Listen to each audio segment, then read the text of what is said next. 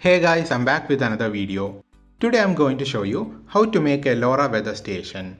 In this weather station, I am using DHT11, BMP280, LDR sensors at the transmitter side and an I2C LCD display at the receiver side to show the received value.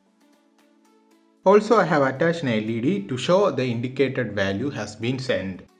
These values would be converted to a string and sent by the LoRa module. This is the LDR sensor which gives values according to the light intensity. This is the DHT11 sensor which gives temperature and humidity. This is the BMP280 which gives values on altitude and pressure which would be I2C communication. I have also attached an LED which indicates values has been sent by a blink as you can see over here. This is the RFM95 LoRa module. This is the Arduino Nano over here and this is the I2C LCD display along with the RFM95 LoRa. This video is sponsored by Tomson Electronics. They are the best dealers in commercial supplies of electronic components in India with high quality products and a wide variety of category to choose from.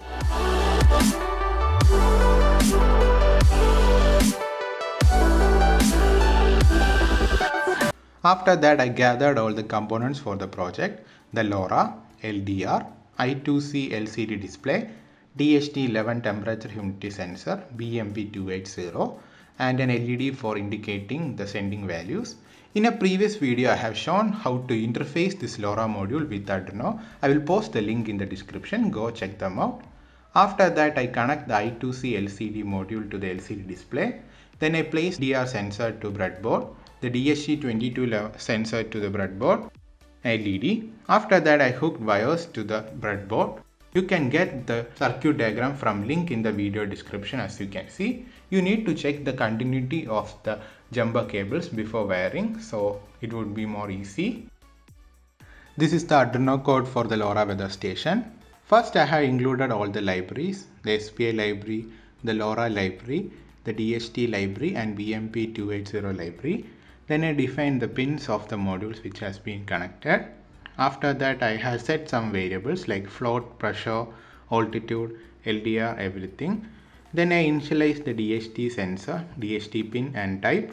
After that I have created a random number to avoid transmission loss during the first digit.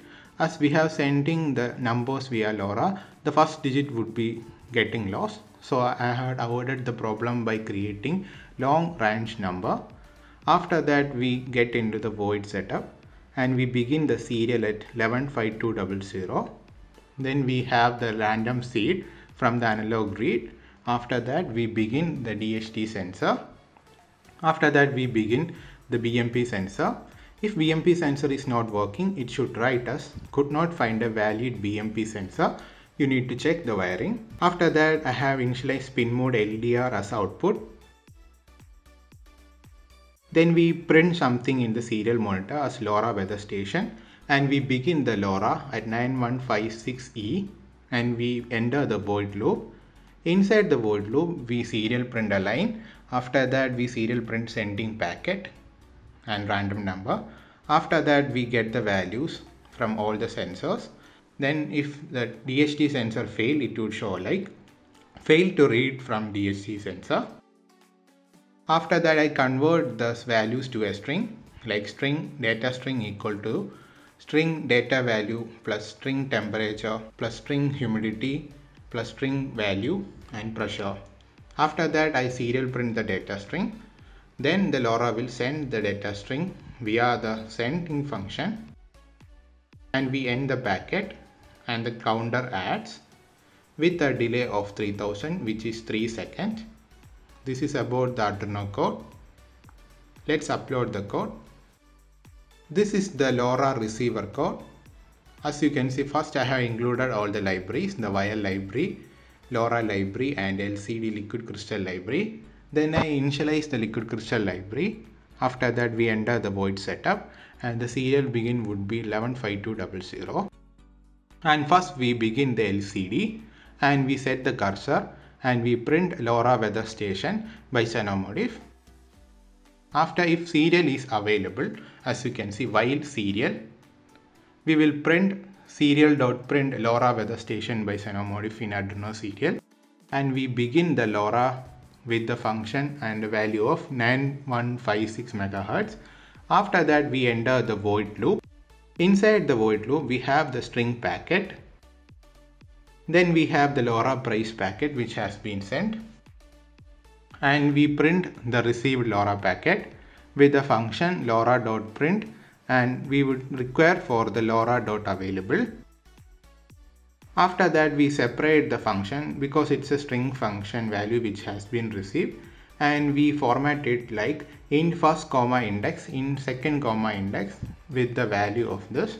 It would separate where it see a colon and we save the string values to another string called first value, second value, third value up to sixth value. As you can see first value and we print the first value and save it to the first function and we serial print temperature, humidity, pressure, altitude and we print the corresponding value. Since we can't print the first digit like which was a random number to avoid the transmission loss we would be printing from the second value as you can see. I'm serial printing from second value, third value, fourth value, fifth value and sixth value. These are all the values. After that I print them on LCD with the function lcd.print temperature and within the serial println the values. This is the Arduino code for LoRa receiver. Let's upload the code and see what's going on. This is how you can make your very own DIY LoRa weather station using LoRa and different sensors. Right now I only use LDR DHT22 sensor BMP280 but you can include more sensors. I hope you like the video. Don't forget to like, share and subscribe.